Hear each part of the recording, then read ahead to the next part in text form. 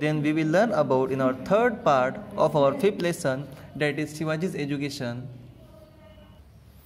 So, in this lesson, in the third part or fifth lesson, we will learn about the new regime of Shivaji. This is a very important point. In this point, we will learn about what administration that Shivaji Maharaj decided to do in his Pune Jagir. And in his work, Jizamata, the mother of Shivaji, will going to help In his ideal work. So let's start. In Pune, Jagir, the new regime of Shivaji began under the guidance of Jizabai. Shivaji Raje had already made the preparations for this.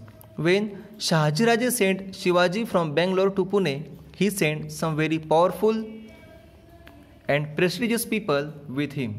They were Samraj Nilkant Peshwe, Balkrishna Hanumante Muzumdar, Mankoji Dahatonde, Sarnobat, Raghunath, Balla, Sabnis, Sonopant, Dabir these were all able men to fit to administer and independent kingdom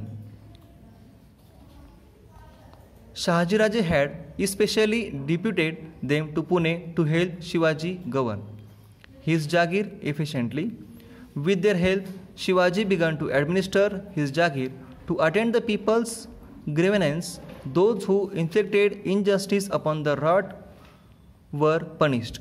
In a way, Shahji Raje's Jagir was undergoing a transformation.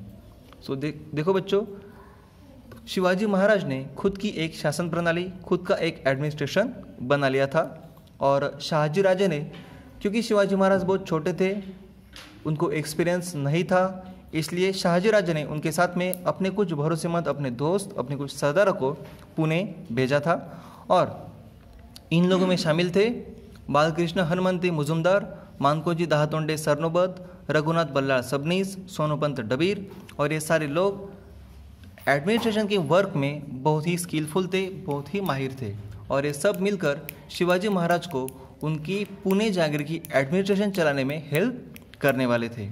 और अब शिवाजी महाराज ने उनके जागीर में लोगों को आने वाले बहुत सारे प्रॉब्लम्स सॉल्व करना स्टार्ट किया था और अब शाहजी राजे की जो जागीर थी, पुणे, सुपे, इंदापुर एंड चाकन, इन सबको मिलकर कहा जाता था पुणे एंड सुपे परगनाज। और अब इस पुणे और सुबे परगनाज में की एडमिनिस्ट्रेशन में बहुत सारे चेंजेस होने वाले थे।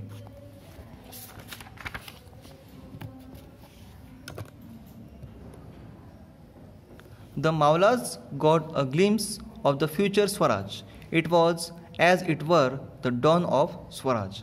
और मावल रीजन में रहने वाले लोगों को एक तरह का एहसास हो चुका था now the government will be change the administration is going to change and now we will see the dream of our own swaraj और हमारा आज का लास्ट पॉइंट जो पार्ट थ्री का है Shivaji's marriage in those days उन दिनों people married at a very early age उन दिनों में लोगों की शादियाँ बहुत ही कम उम्र में ही हो जाती थी।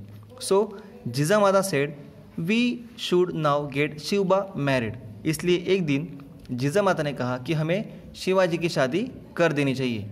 Then a search for a suitable bride for Shivaji began इसलिए शिवाजी के लिए एक अच्छी और सुटेबल